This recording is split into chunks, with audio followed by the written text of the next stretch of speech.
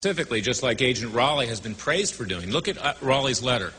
If you were to take the letter that we received yesterday evening from the FBI, and it had to have been reviewed by the FBI director at this point because they knew Bob was out there. If you had taken this letter and juxtaposed it with Rowley's letter, Rowley would likely be criminally prosecuted. She'd be away for life. You can see the hypocrisy in what they're saying. And the double hypocrisy is, is that when Bob started uh, to try to get his story out through the New York Times. A reporter by the name of Judith Miller, a Pulitzer Prize award winning reporter, I might add, one of the top reporters on terrorism, is that the FBI flew people in to meet with her and gave her whatever information, of course, in a twisted way, that she desired. But yet Bob was not allowed to talk with her. And that's why ultimately one of the reasons she didn't write the story. So you can see the hypocrisy here and what Director Mueller said yesterday, it was just words. And of course, as a consequence, the um, they've been in the they're in the crosshairs. Go ahead, Bob. And we have some corroboration here today uh, that we're going to provide. First of all, I'd like to say I'm not representing the FBI. Anything I say is uh, not supported by the FBI or the opinions of the FBI. These are my own personal opinions. What I am about to read to you, I had submitted for pre-publication review, and uh, it was approved. And this was back in February. Since August of 1999, I've been working to legally expose the very real and foreseeable Middle Eastern terrorist threats to American citizens at home and abroad. From 1993 to 1999, I was assigned to the Chicago Division's Counterterrorism Task Force. In this capacity, I became familiar with the techniques used by international terrorist organizations to surreptitiously move money, launder money in and out of the United States, including through the use of domestic financial institutions in support of terrorist and paramilitary activities and operations in the United States and abroad, including the State of Israel and elsewhere. Against the wishes of some at the FBI in 1995, when I uncovered criminal violations of several of my cases, I promptly initiated active terrorism criminal investigations on these subjects. I developed probable cause to believe that some of these transfers or transmissions have been of money intended to be used in the support of domestic and international terrorism activities. The illegal transfers have supported specific terrorist activities involving the extortion, kidnapping, and murder of at least one Israeli citizen.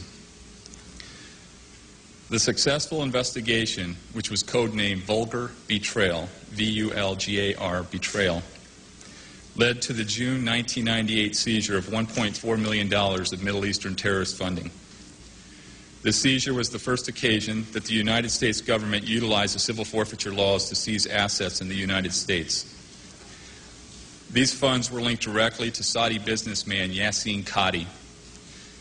On October 12, 2001, approximately one month after the attack, Yassin Qadhi was designated by the United States government as a financial supporter of Osama bin Laden.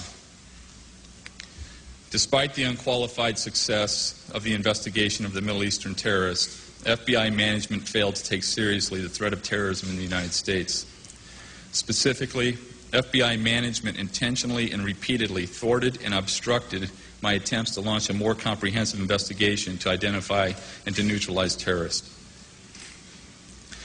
The FBI's lack of support for the Vulgar betrayal investigation was obvious to my new supervisor in 1998, who, after only four months of being on the squad, wrote, quote, Agent Wright has spearheaded this effort despite an embarrassing lack of investigative resources available to the case, such as computers, financial leak analysis software, and a team of financial analysts. Although far from being concluded, the success of this investigation so far has been entirely due to the foresight and perseverance of Agent Wright. Close quote. Although the Vulgar betrayal investigation had been proposed for designation as a major FBI case because of its far reaching scope in 1999 in an effort to further the terrorism investigation, I had to purchase much needed software, computer software, and a scanner with my own funds since I was unable to obtain the necessary funding from the FBI. I sought to communicate my experiences, as Larry had said and Dave had said, to Congress and others in the public interest following the September 11th attacks. However, a threat was leveled by a Department of Justice official against me through my attorneys to prevent me from meeting with members of Congress during the week following September 11th. This came from the Attorney General's office. In fact, the following morning, in order to prevent me from traveling from Washington, D.C., or to Washington, D.C. from Chicago on my own time, I was told by the FBI division that I could not travel outside of Chicago without permission from the FBI. My efforts have always been geared towards neutralizing the terrorist threats focused on taking the lives of American citizens, in addition to harming the national and economic security of America.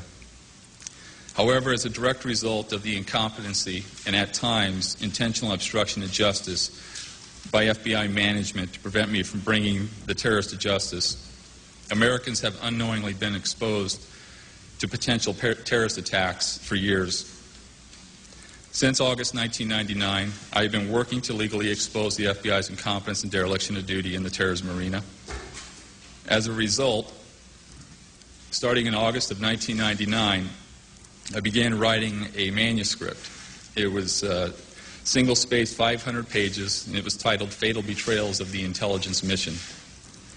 The manuscript outlines the FBI's intentional, at times, failure to pursue the terrorists and thereby prevent terrorist attacks. Ironically, I completed the text of the manuscript t- two days after the September 11th attack. On September 10th, I had all but the last three pages completed. In addition, on November 5th, 2001, through my attorneys, a 38 page complaint was filed with the United States Department of Justice, Office of Inspector General's Office, for, quote, for dereliction of duty by the Federal Bureau of Investigation in failing to investigate and prosecute terrorism and obstruction of justice and retaliating against Special Agent Robert Wright Jr. Also on January 14th, actually February of 2002, uh, through my attorney David Schippers, a 118 page complaint was filed with the United States Department of Justice uh, Office of Inspector General detailing whistleblowing retaliation by the Federal Bureau of Investigation against myself. FBI rules and regulations prohibit me from disseminating these documents to anyone, including President Bush and members of Congress, before submitting the written material to the pre publication review unit of the FBI. Therefore, in a good faith effort to legally share the contents of all these documents with the President, members of Congress, and the American people, I have abided by the FBI's established rules and submitted the manuscript and complaints to the FBI's pre publication review unit for review. On June 9th, 2001, after questioning by friends, co workers, and family members regarding my motive for writing this manuscript and for exposing the Bureau's dereliction of duty in the terrorism arena, I drafted a mission statement, which was completed 91 days before September 11th. And I will read that to you now. That also was reviewed by FBI headquarters and approved. The mission statement reads The FBI is America's top law enforcement agency, and as such, its mission is to protect America and its citizens at home and abroad. The strength of the FBI has always been in the public's trust and integrity in the quality of the FBI's investigations. However, in light of the many FBI mistakes which have surfaced during the past decade and additional mistakes which will be exposed in fu- future legal actions and a book I'm writing entitled Fatal Betrayals of the Intelligence Mission, America's confidence level in the FBI will further erode. However, as a nation, we must work together in seeking to regain the confidence level we once had in the FBI to achieve its vital mission of protecting the safety and welfare of its citizens at home and abroad. The FBI is going through a difficult time. However, I'm confident the FBI and the American people can overcome these difficulties. Together, we can and must resolve the difficult issues surrounding the problems within the FBI. America cannot afford to have its top law enforcement agency continue to be lax in areas fundamental to the national security of this country. I love America and I love the FBI, particularly its purpose and its mission. However, the mission has been seriously jeopardized, in my opinion, to the point that American lives have been needlessly lost. Accordingly, I'm seeking a thorough review and complete house cleaning to identify and fix the FBI's problems, whether they be managers, agents, procedures, policies,